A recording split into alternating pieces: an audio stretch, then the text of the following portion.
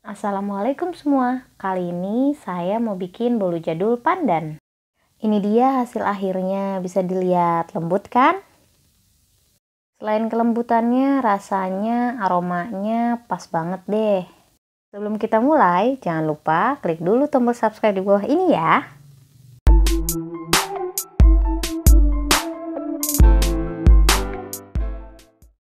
Langkah pertama sebelum kita bikin bolu jadul pandannya nih, siapkan juga bahan-bahannya ya.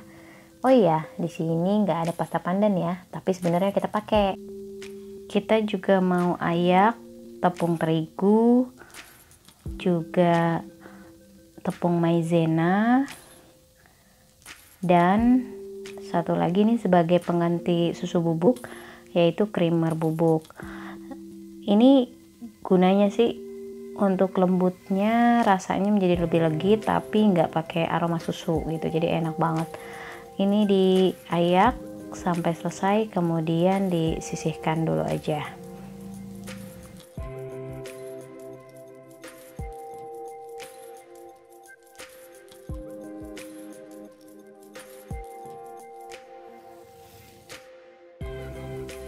kemudian oles juga loyangnya saya pakai loyang turban ukuran 26 cm kalau mau pakai idealnya sih 22 atau 24 cm biar cake nya nggak kependekan. Dioles boleh pakai Carlo atau oles pakai margarin kemudian tabur tepung. Kemudian panaskan juga nih ovennya pakai api bawah dulu kurang lebih kita panaskan 15 menitan atau 10 menitan. Jadi begitu selesai mix adonan tinggal masuk.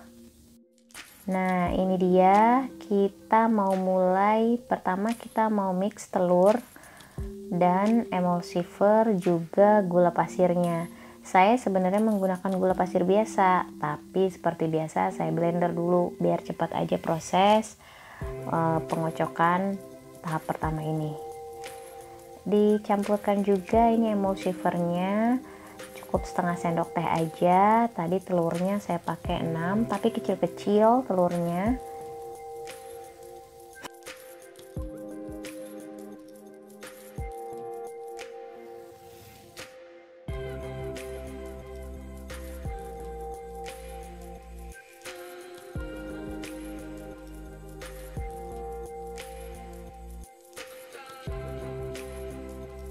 kemudian masukkan gula pasirnya 150 gram. Lalu dikocok menggunakan kecepatan tinggi kurang lebih kurang dari 10 menit. Pokoknya sampai adonannya putih kental berjejak dia sudah mengembang gitu adonannya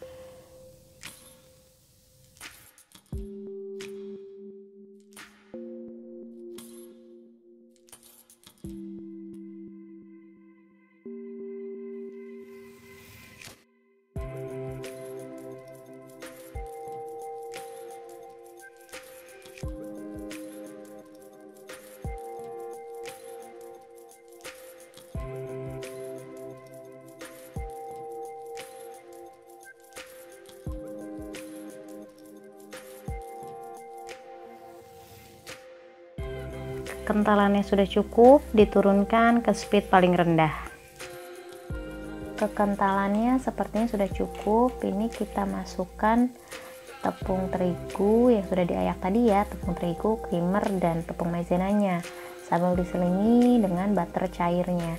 Butter cair saya menggunakan Duben Cake and Cookies 150 gram. Kalau mau pakai butter doang juga nggak apa-apa dimasukkan semua ini di mix sebentar aja pakai kecepatan rendah lalu matikan lanjut aduk balik aja pakai spatula.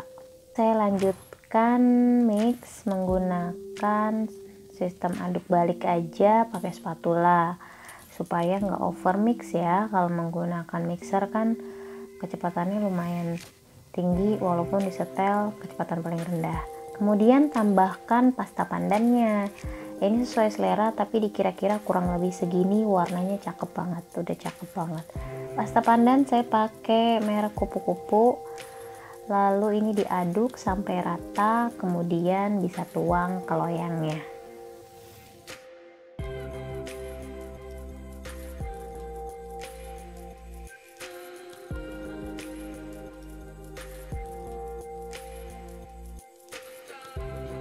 setelah dituang ke loyang kemudian dihentakkan beberapa kali lalu masuk oven deh.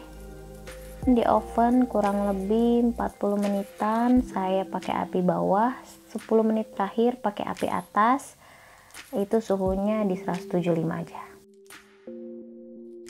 Ini dia bolu jadul pandan kita sudah matang. Kita potong kita lihat tekstur dalamnya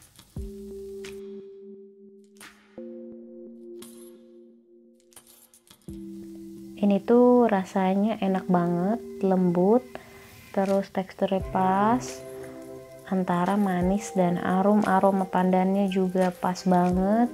Pokoknya bolu jadul pandan ini wajib coba di rumah.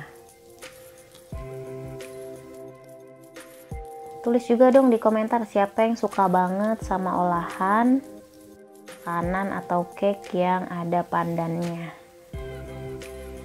jangan lupa juga untuk subscribe like comment share video ini biar kita makin semangat posting menu-menu berikutnya. Terima kasih yang sudah menonton, sampai ketemu lagi. Thank you for watching, bye-bye.